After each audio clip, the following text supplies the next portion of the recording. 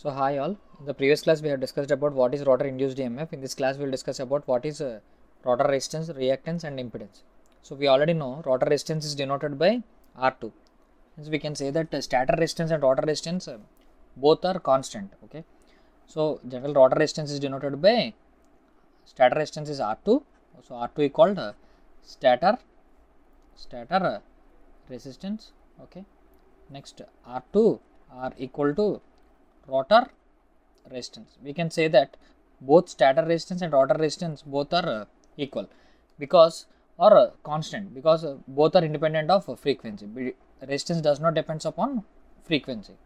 Coming to the reactance, reactance is depends on frequency. Generally, reactance is denoted by x2. Okay, reactance is denoted by x2.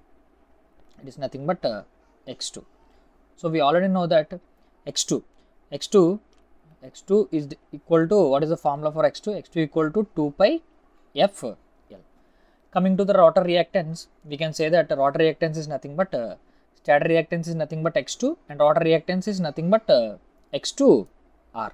Coming to the standstill position for example if we consider at standstill the reactance will be x2 so x2 is equal to nothing but uh, standstill standstill rotor rotor reactance. And the rotor reactance what is the formula for rotor reactance?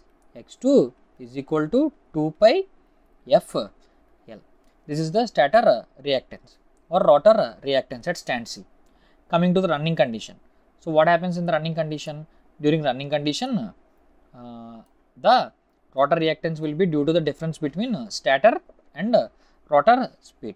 So x2r will be the rotor uh, reactance so x2r is equal to what is the formula? 2 pi frl we can clearly state that rotor reactance always x2 is always directly proportional to frequency right?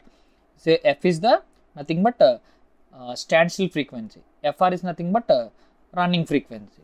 So this is the equation we can state it as equation 1 and this one as equation uh, 2 so divide equation 1 so divide equation 2 by 1 so we can clearly term that x2 r so divide so divide divide equation 2 by equation 1 so x2r by x2 right?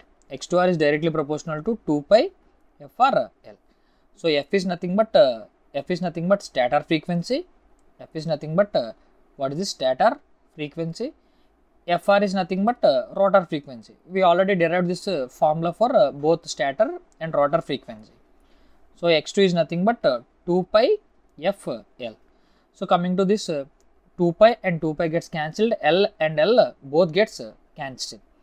So x2 r by x2 right? X2 x2 r by x2 is equal to fr by f. So we already know that fr by f we already know that uh, what is the formula for uh, what is the formula for uh, rotor uh, frequency? What is the formula for rotor frequency? Fr what is the rotor fo- uh, formula for rotor frequency? Fr equal to s into f right? We already derived this formula. How? So fr equal to nothing but uh, s into f. So f can be written like this. How the f can be written? So f equal to or s can be written like this.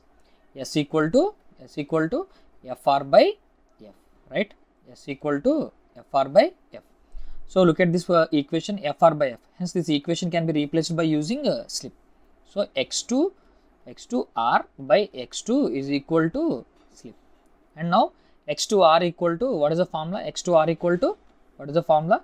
X2 r equal to s into x2 so this is the formula for uh, rotor reactance what is this? This is the formula for rotor reactance this is the formula for rotor reactance coming to the impedance. We already know that. So impedance also impedance is nothing but a combination of both resistance and uh, reactance okay?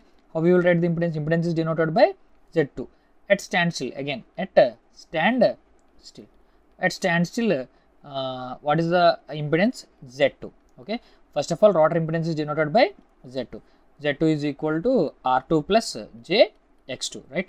So this is the imaginary term uh, hence to find the magnitude uh, we will use this formula z2 equal to square root of uh, r2 square plus uh, x2 square. This is nothing but uh, impedance at standstill or stator impedance. What is this? Stator stator impedance or impedance of rotor at standstill. What is this? Impedance impedance of rotor at stand still. At standstill condition uh, there will be no rotor uh, speed. So z is nothing but r2 square plus uh, x2 square. Coming to the uh, at running condition. What is this? At uh, running condition. Let it be terming as uh, at running condition or at okay one second. So it will be at running condition. Okay. At running condition what happens in the running condition during the running condition? Okay. During the running condition the impedance will be z2r z2r is nothing but uh, r2r plus j x2r we know that uh, both uh, rotor resistance and uh, resistance rotor resistance resistance of both of both stator and rotor are same. Stator and rotor are independent of frequency or independent of slip. We can state it both.